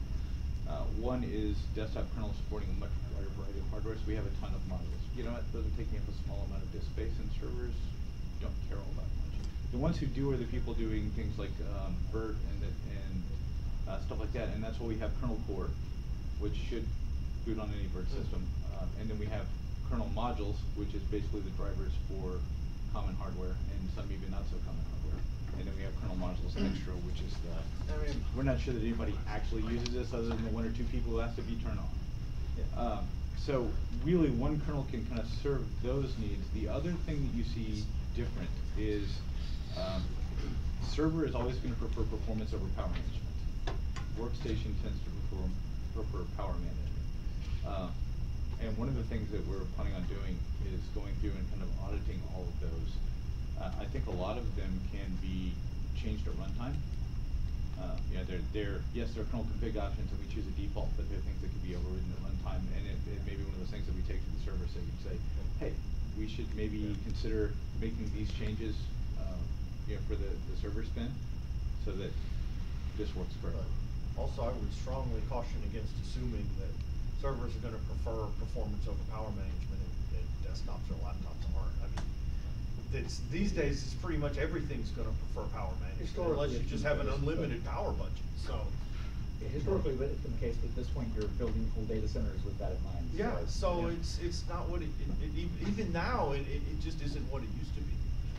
Everything pretty much wants the same, and weird hardware is not exclusive to desktops or servers. I mean, once you get down, you know, forty, hundred gig ethernet or something, it's, Right. that's still pretty weird. Yeah, so I mean, I, I still think either way it keeps it at a, the, I don't see much of a driver to build a separate kernel for the two. I think that we can, we can kind of review config options and perhaps figure out, you know, what, what is tunable at runtime that would be best to, to. So I have a scenario, if I may, to see if we can fit into the model of no arbitrary branching. And it, if that's the case, fair, you know, but let's just see if it works. Um, it seems like there's a stabilization model for the kernel, whereas for everything else, we're targeting a gating model. Where, well, we may, after the fact, send a bug saying you really broke something on performance, or, you know, systemd totally ruined a system that's been up for a thousand hours, or ten thousand hours, whatever, right? That's hard to gate, but most of the stuff we're gonna gate. Looks like the kernel is gonna be hard to gate, right? So what if, uh, the scenario, so a lot of what ifs, right? What if the atomic host says, we know the new kernel is not fit for purpose in the cloud or on, you know, DigitalOcean, or AWS, or um, uh, another cloud. We're not going to ship that kernel until this changes. So we're at this point where they're going to essentially gate it. Very likely going to use a module to gate it. Now, they could, they don't need an arbitrary branch to do that. They can refer to an older disk commit, dist-git commit. That's what modules do, or use some mechanism to ship the older kernel. Well, the modular is who uses arbitrary branch. Right, but in addition to modules, um, they can refer to an older committed dist-git. Like the kernel doesn't have to have arbitrary branching for modules to do a little bit of their magic on it. Let's just. Um, so now you have a situation where, for some time, uh, unknown period of time, hopefully not that long, but unknown period of time, essentially has branched where we're shipping in a release of Fedora Atomic Host a kernel that you guys no longer really think it, it has essentially branched in some way. And one could imagine that a security update comes and you're so where where do we where do we do this? What do we do? Do we, you know, fix that splice in that security update for this kernel that's that's now going on in Atomic Host? They haven't yet sort of jumped in. The, the other one's not stable enough. So I'm I'm not saying all of these are givens. But Right. let's use that as an example to play around and make sure we have a good answer to it. Um, okay, so a couple things to there. When you when you say splice, are you referring to Ksplice, kpatch technology, or are you No. just using that as an? I just use that as a dumb word, but I meant patch. Okay, so the idea is that you would have to build and reboot. Mostly because I'm having a hard time imagining this as branching just because you're making it sound like, well, we're just gonna pick up an older kernel, and that's not really branching. That's using an older kernel and then somehow expecting it to be supported. So the, the other side of that was, now there needs to be a, a CVE fix on top of that. Yeah. I mean, Well, then we're really screwed. Right. This is, I mean, that- it this really- is the whole worst case scenario maybe. This, this is your Like, Fedora support model tree at that versus your point. RHEL support model. I mean, that's, that's kind of the way it works, because, uh, you know, otherwise, if we start maintaining arbitrary branches for all this, there's two of us. Yeah. Yeah, it's not gonna happen. I mean, I guess Um, the question it- is, is, is that, would, would it ever be possible to have models such that other people could somehow have their own model? That was the question I asked. How, how many of you, Yesterday. how many of you would there need to be for you to be comfortable with that? Hmm? I mean, How many people you need to support multiple branches? Two people per branch. Well, no, What's a I, I person? mean, yeah, For these ideally, purposes, let's say ideally it would adjusted be a person per branch. The problem is, um, we had three people. And, and Josh, well, someone else, who's not Zach, but, uh, um, the nice thing about having a three-person rotation just for what we are, you know, this came in now, is you did get a small break. Every once in a while, where you could go work on upstream stuff, or work on the testing Mhm. initiative or things like that. And it really helped with sanity. Um, It's been, what, a year now? And yeah, there's no breaking. Yeah. So. That's the, that's the second most disturbing thing I've seen. I, I would like to see, you know, yes, if we can add another branch, probably another person per branch or a person per, uh, Well, for me, the, and I see, the, my problem is I don't, still don't know from a user perspective how this arbitrary branching is gonna work, but I would, you- mentioned earlier well, it's obviously no one tested the rawhide kernel because. Right. Well, there's a lot of times when I would test the rawhide kernel, but I don't wanna test rawhide. Now, I know that I can pull the rawhide kernel manually and, and, and Well, install it. but- see, you're, one of the people who, who does test the Mhm. raw, rawhide kernel fre- frequently, and these are not problems that, you know, these problems showed up in a rebase on twenty-six. Sure. So it was that kernel on twenty-six that Yeah. showed up. What I'm saying is we don't have the breadth of it. I mean, people who are right, who are building their own modules and secure boot signing them and then throwing those keys in UEFI, Yeah. it's probably a very small number of people. Yes. But, you know, it would be nice if at least that had been tested. It's just, Uh, if there was an easy way for me to pin my Fedora twenty-six otherwise released machine to follow the kernel that you'd like me to be testing, Right. I would do that. I have no problem There- with there- that. I there mean, I is a can way to- always just reboot, Yeah, but. there, well, there is a way to do that. You can go into your yum config and enable the raw, either the rawhide repo, or if you really want to, the rawhide nodebug repo. Mhm. Um, and you can, and rawhide nodebug is kernel only anyway, so that's all you get. Yep. Even if you want to do all of rawhide though, you can say kernel only. And it will exclude every other package. You do a, a DNF update and it will grab kernel from rawhide, provided it's newer. Yeah. Or if for some reason it were older, it would still grab it from Yeah. twenty-six, but it won't look for any other package there. But didn't you say earlier that there were, might have been problems with tool chain mismatches though, so. There can be problems with tool chain mismatches if you're, um, yeah. If you, if you're- you wanna build out a tree yeah, if you're module, you, wanting to you build need a out little tree bit module more than modules. just kernel. Yeah. But that, and, and those rawhide kernels are signed and all of that mess, I mean, it is. The, uh, or so the rawhide nodebug kernels Mhm. are not signed.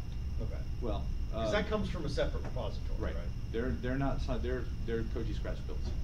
Um, the actual rawhide kernels are signed and they're secure boot signed. But they have the bug. No, the bug, well, we, I fixed that bug. No, I mean, they have debugging symbols and all that. They do have debugging symbols, but we did, we made an effort, um, this was like a year and a half ago, to figure out what was making debug kernels so slow, and we did turn off a couple of options to speed it up. So they're, they are slower, but they're, you know, maybe five to ten percent slower, and that's it. It's not like it used to be where Yeah, it was almost unusable. Glacial, yeah. Turn off, lock, lock that. Cause I'm, I'm sort of seeing, you know, problem, we have a lot of problems around testing, it's not just the kernel. It would be really nice if there was one place someone could go to deal with testing all of their release, but that's not a topic here, it's just that there should be, if there was a place, there should be a checkbox for, give me the weirdest kernel possible, Right. and, you know, let me see how it works. Well, and we did just get a, uh, suggestion, uh, asking us to do a Fedora test day for kernel. Oh, yeah. Just like they do is test great, days for several other things, so I'm, I'm going to do that. Uh, I'll see if there's schedule, if there's time the schedule for F twenty-seven, but, um, certainly if not for F twenty-seven, then we'll be doing it for F twenty-eight. We could even, we might even be able to, to do that on Rebase, right? Yeah. If we do the week before relay, Rebase, I create images for people, or you can download the kernel from this Oh, repository yeah. if you wanna run it on your, yeah. So that's something we could do to maybe get more people actively testing every major release, cause it's only once every three months. Yeah, I mean, Would, would it everything be else hard is for just you a to do the Copr raffle, that do just the newer kernel stuff? Um, Without having to have rawhide and then the exclude thing and. Uh, well, we've, we've got rawhide no debug, Copr won't sign anyway, so it, doesn't- there's no difference between rawhide no debug and Copr other than that. Okay. Uh, the other thing, Copr doesn't build as many architectures as doing Koji that way, and, uh, Copr actually has, I don't know why they, they will not change it for us, their timeout value is exceptionally low, so we can only build x eighty-six sixty-four. I six eighty-six Oh. will fail because it times out after six hours, it just can't build it fast. Wow, it's very slow. Yeah, there's, there's slow kernels. Um, but in response to what you were saying, to me, the most logical thing there is we have an issue that is, is preventing a kernel from working on atomic. Uh, that shouldn't have to sit that long. That should be something that gets addressed before that, right? You know, I, I understand if we've got an issue that's hitting one or two users somewhere because they're, they have arbitrary hardware, but things are affecting a lot of users. Even this QXL bug has gone on a lot longer than I wanted to. Uh, part of that is because I had so many other things to deal with at the same time that I was, I, you know, it was lobbed upstream and let me see if they're gonna do anything first. Well, now they haven't responded. And it's, it's a priority because it affects a lot of users, even though there's a workaround. Uh, uh, so the, the mismatch, we'll, we'll just have to find a solution to this, pragmatic one. The mismatch is that very likely, or some of those delivery mechanisms, they will gate at that point. It won't, like, for example, if it breaks OpenShift, and it's a, you know, it's a contain, it's a container-oriented host, and it breaks Right. OpenShift, then they'll gate and keep in the old one. So then there's suddenly a window, and you're right, it's, it's important to fix it. There's suddenly a window where if a security update comes, well, we don't really have an answer, we're scrambled. Right. The other thing is, is so the, the number of CVEs that come into the kernel are very large, actually. Yeah. Uh, multiple every week. Uh, But the number of those CVEs that actually would impact someone, uh, Right, cause it's usually with X weird driver. that it- is- well, it's weird driver, there was, uh, like, one I patched yesterday, I I committed yesterday, I haven't done the build up yet, but it, it is a, you can crash the system by doing this to the driver that you shouldn't be able to do. You have to be root to do it. If I root, I can crash the system no matter what, so it doesn't matter. I mean, that, that's, I, I understand the way the security research community has gotten, but Yeah. really, that's not a critical fix, right? Right. The root update that caused me to push, uh, four twelve five with still a- what I consider a fairly major regression to QXL. Uh, that was a local root, and that's something that, yeah, a local user could gain root, that's something that, yes, we needed to push. Huge, yeah. Um, it's been months since we've seen one of those, uh, something of that scale. Well, usually they get their own website marketing and t-shirts and everything. Yeah. Well, those are, yeah, those are more likely the remote routes, but, yeah. Well, these, these days, local root is remote root. Cause we have OpenShift and stuff where users self Yeah. provisions, so. Oh, I know. It's, local road is. Yeah, as- but as no, as th- it- those are treated with absolute priority. Right, because, and- yeah, but still. But those are few and far between, Th- those happen, you know, usually once. And what I would like to know is, uh, sometimes those are embargoed. Uh, which means somebody knows about them before we find out about them.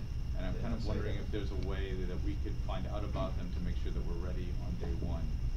And, you know, if we know this is coming, uh, maybe we're not gonna push a rebase Hmm. a couple Right. days before because we know that this is coming and we're gonna wanna do one last build. Cause our Uh, process is long. Well, the, so the, the processes around some of that security stuff are on some very close list, and when I was at Red Hat, I was actually on. So you sh- you should, yeah, you should discuss with, uh. We have security people on that list, it's just a matter of making sure that we get notified. Right. Of such things. There's a thing. Yeah. Can't tell you what the thing is, but there's a thing. No, no, no, I can tell you what the thing is, I mean, Yeah, th- there there's- no problem telling you Yeah. In advance in general. Right. Well, I- Although- just, just pragmatically speaking, there will be a problem if they fix it before No, RHEL does. they though. Oh, must it not fix it in public. Oh, well, a Yeah, lot of times they we do get it it. fixed out before RHEL does anyway, just because of, of how quickly we move through. I mean, Let's, our, let's keep that on the down. our, our QA side is, is very quick oh there. However, that fix might also. Another one of those bad analogies. No, but, but that fix might also include some regressions. Yeah. Yeah, the Fedora fix is like. Yeah, the Fedora fix is there, but it's also part of the stable update that's got hundred and thirty some odd other patches that haven't been through any more QA than our default So this has been um, a good discussion, and I think we're probably gonna open up the floor for the last time, but I just wanna clarify, did you have further questions about the config process? I think it got touched on a little bit, but we did kind of gloss over it. Um, Oh, no, just that it was best effort, and if you don't like them, then open button. Okay, yeah. I did wanna clarify, it sounds like there's no explicit relationship between the Fedora config and the RHEL config, and that's intentional. But at the same time, uh, there's nothing preventing any changes from happening to the Fedora config if we come talk to you guys first. No, in, in fact, that's one of the things we've been talking about is how can we, how can we leverage some of that? Because, you know, there's two of us, there are a whole lot more RHEL kernel engineers, and we have people with specializations in all of these different areas. When we make a best guess effort, we would love it if somebody says, actually, if you do this, you're gonna, Well, it's gonna be I know for for sure there are a couple configs where I talk with other engineers and why don't they have this stupid setting? Mm-hmm. The, the problem is that even from within Red Hat, they don't know how to come tell you, maybe you should set this this way. Right. So what, it- what would be the best way for you to get that feedback? The Bugzilla. Bugzilla, Bugzilla for, for those types of things, or the Fedora kernel mailing list, either one. Yeah, I see that. I- I But see that. Bugzilla would be okay? Yeah. Absolutely. Yeah, we, we would like to see it. That's the kind of things that probably should be, uh, usually filed against rawhide, and then they would trickle down and rebase, and there's certain things that, that we can, uh, some config options actually will not trickle down. But some will. This is like a per- perverse thing with kind of engineers that they don't have really a big incentive to send you bugs with them because they're using their own kernels. Well, that, that's why, I'm- So- yeah, that's why I mentioned the, the kernel mailing list. If it's easier for you to send an email, if that gets us feedback, then, yeah, we'll take the feedback. Because we, we want to do what's best, but during the merge window, there's sometimes dozens every day for like two weeks of new config options that kind of, that we have to, I. I'm No, I'm talking about old config option, not necessarily new. Right, so that's the problem, is we, we take them when they Right. come in, but then there's something that goes and reviews them later, so that, it- that's. And some of them do change when, when new config options come and, oh, if you have this one, then maybe this older one should change now because whatever. Uh, every once in a while, that stuff got reviewed, uh, we had three people go cry every once in a while, and then like, you know, months or so. And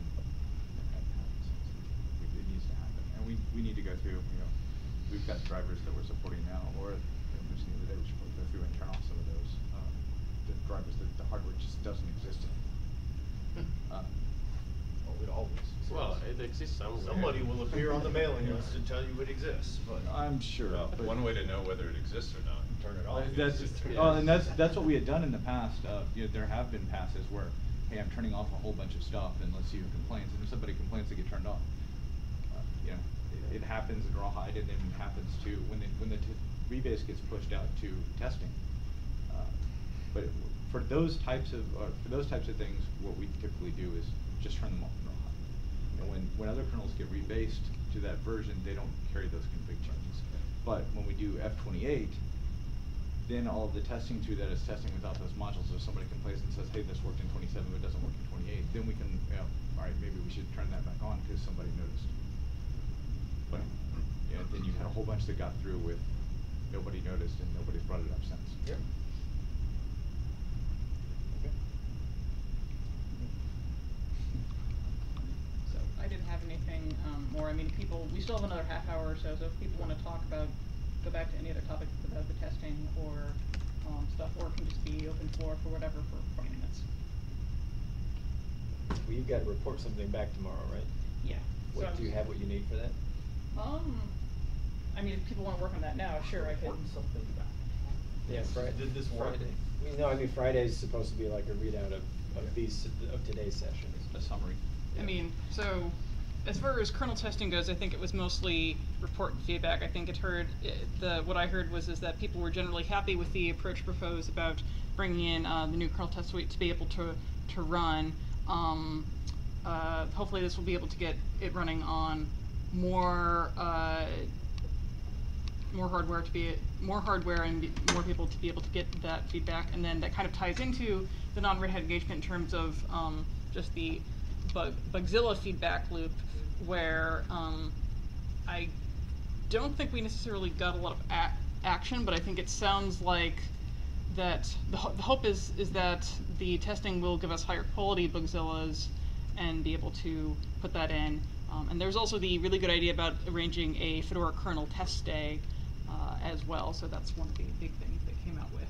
Um, see, and then for arbitrary branching, I think the conclusion is no, the kernel's not going to do it.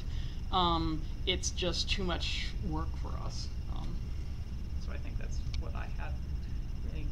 If, if somebody, I, I really think if somebody were to provide like a very valid argument on why we should do one, then, you know, we, we might be able to entertain that, but our default policy is gonna be no. Just like out of tree branches, or, I mean, out of tree patch sets, right? Our default is no. If it's not going upstream very soon, we're not gonna carry it, but sometimes there are cases we do. Probably also something that we can see how often it happens. That, you know, someone doesn't ship the latest kernel and, and it's an artifact, and then, yeah, it doesn't happen that much. You wanna solve the problem. I think I have one case, which is AWS, right? So EC2, there are lots of things that are not, are completely unnecessary. But that's what kernel core is supposed to be. Kernel core, kernel core gets rid of most of the unnecessary. Okay. Yeah. This is this is good discussion. I just want to clarify. Is there anything else anyone would like me to highlight in the summary? I, I would like to see it highlighted that Red Hat is apparently committing a, a decent number of resources to Okay. testing Fedora, which is kind of awesome. Yes, that's a very good point. I'll make sure I make that. Uh, Okay. I will say, the one thing I did not know coming in is that there's still only two people. Yep. Okay. They're magnificent people. Yes. There is only two. Okay, I will um, stop trying to run the show then and let you and let uh, y'all talk. So. Uh, My other question, other one was probably for, uh, for Dom, I think he stepped out. Do you, do you know when the SKT stuff is, gonna- uh, it sounds like we've got internal results coming, do you know when they'll be external? We're trying to figure out, because the- the problem we don't wanna do is spam people and, you know, turn people off We, with, we're, with this we're stuff. still in the testing phase is maybe the way to say it with this Yeah. stuff, to find out what the emails need to look like, do they have all the information, et cetera. So we're just gonna send them internal for a while and then find them out. But just in a ballpark, should I expect, if I don't hear anything for, should I expect weeks, months, a year? Uh, you know, so i'll give you status in the roll-ups, okay, type of stuff, but, you know, it should be weeks, not months. Okay. Is that what they said? A lot of the details around this is, is scrubbing the logs, right? Oh, yes. You don't wanna send everything that's in a console log in an email and have ninety percent of it be re-removed with the same panel, type thing. Uh, I did have another question for Justin and Laura. Laura stepped up for a Yeah. second. So with, with, I'm going back to the funnel, with the triage uh, and all that stuff, if you guys had like a very low level, almost intern level person, would that help you or would they get in your way? Um, that would probably help immensely. Yeah. For, But- for triage type Yeah, that would help immensely. It, it's, I'm not saying that triage is trivial, but it doesn't require a high level Um, we don't need a consulting engineer. No, that. we don't need, you know, but it is very time consuming and it's very thankless. So, the, the problem is, if we had an intern to do it, you know, we're gonna go through interns pretty quickly. You're, you're- you're basically Well- asking people to give more information, and they're like, Well, I- and, you and know. also drilling down to the, okay, well, this is an ATI graphics website. Right, They so actually get CC them assigned right, to, yeah. and making sure the right people are CC'd on them or yeah, stuff like that, yeah. He's that's- getting coffee though. I, I would never turn down an intern for a triage or, you know, but. I mean, my, part of my first job right out of college, when I was learning to do kernel development, I spent a lot of time learning how to do bug triage, and it is very, it's, it's very valuable, and it's a good skill to learn how to have, and it's a great way to learn a lot, but you do also make sure there's the mentoring feedback to make sure you're not just throwing them out into the weeds, and they are learning something. Yeah. Okay. Because that person becomes the first person anybody talks to after they submit a bug. Unless they submit a really good bug. And those people are generally upset because they had to submit a kernel bug in the first one. Well, uh, know, a lot of it, we, were- we were even thinking, a lot of it's a higher level than that, right? It's just making sure that they're assigned to the right people that, Yeah. see- that see them and things like that. Sometimes, you're not asking for more information, there's a decent amount of information there, but this is a, this is a I nine fifteen bug, so I need to make sure that it's, because they follow actually based on the, the Xorg driver Yeah. component instead of the kernel component, so if- even though it's a kernel problem, it gets assigned there. That's a question, if there's really only two people and I found a bug in a sound driver, so we get CC to the sound people, which is, Well, there's, that, I- right? I don't think we really employ sound people. right, that's. I mean. I mean, there is a separate line to CC, but I don't know who actually, No, it, Yeah. that, that really needs to go upstream, okay, yeah. so. And that's the worst part is. Un- Unless it's like sound that's in a laptop that a whole bunch of people have. Yeah. You know, it probably needs to go upstream because there's no way they're looking at it. So, um, I have one question, um, kind of follows from the earlier point, is, is there any level of testing that you would accept as gating before you, before, uh, uh, automated testing? Yes. You would accept as gating before it goes into a non-rawhide stream? So yes, like the, the test we have right now on the, um, what, to, to go to a non-rawhide stream? I, Yeah. we- we would just, we would consider a lot, I, or I would personally consider a lot more testing than going to a rawhide stream. Even a rawhide stream should be gated by what we're running right now on the, as the quick test on the independent, which is really, does it boot?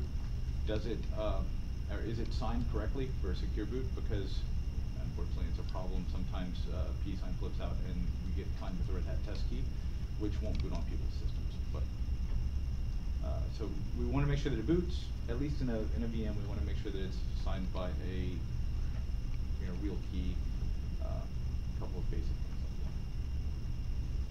Well, that's where we start also with, you know, plugging it into the pipelines, the gate stuff. Yeah. Then we can work from there, we can see. Well, I mean, like I said, that, that to me is even acceptable gating for rawhide. I mean, if we want to talk maybe a step above that, I would say, can you do basic networking? I mean, can you think think about a basic network virtualization? Um, do IP do the does the IP command work at all? Can I even access the booted machine? Yes. Well, let me ask you a bit, question, is that, I- I'm sure you probably want a, a bigger test suite for the gated, but is it lack of tests, lack of time to write the test? Like if, if the Red Hat kernel team, or the Red Hat team provides more public tests, which kind of help provide a bigger test suite, would that be more useful for you guys? Absolutely. I would love to see them and I would actually, yes, I, I would take a large, a large number of those and say, yes, these are critical enough that we would gate a rebase for stable releases on them. That's good to know. Okay, then we can actually start to at least hook up the dots so that we can see how gating works. And then we can grow the tests from, from what you have and bring more stuff. I guess my one concern though would be how do we make sure we can act, if we find a gating problem, actually getting it fixed? I mean, the hope is, is that if we, the things we'd be finding would be, would be fundamental enough that, say, kernel maintainers would in fact care, but, you know, who knows what they had for breakfast this So- morning. So you It's almost like complete an- in control a- over the test suite that gates.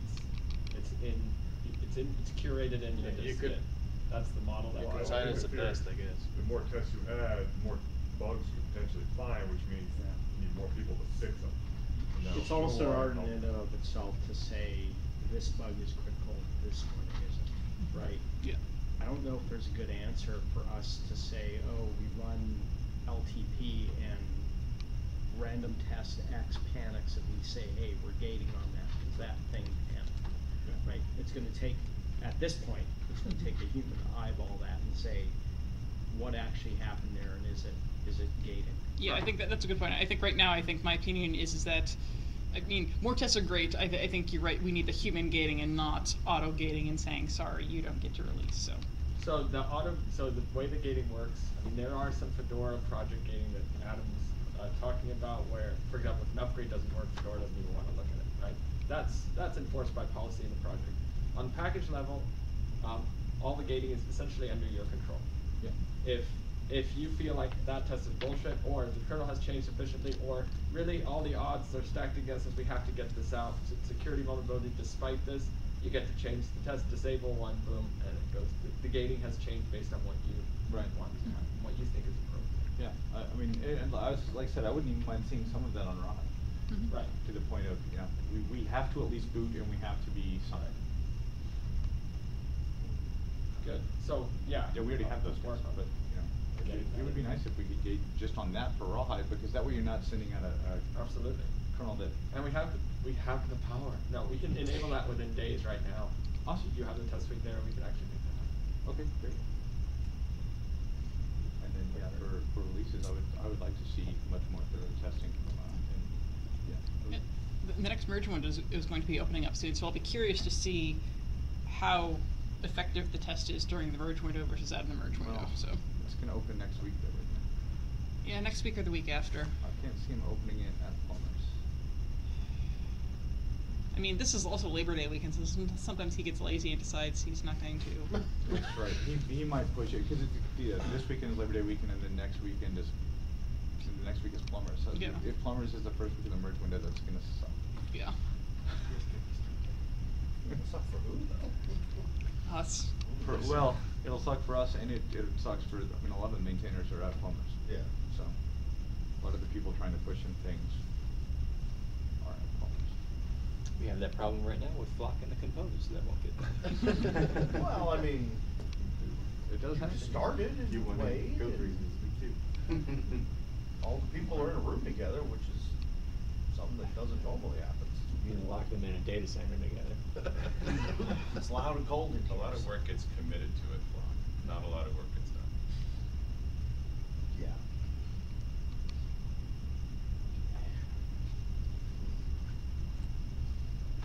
Well, thank you for hosting us. Okay, Yeah, great. It was productive.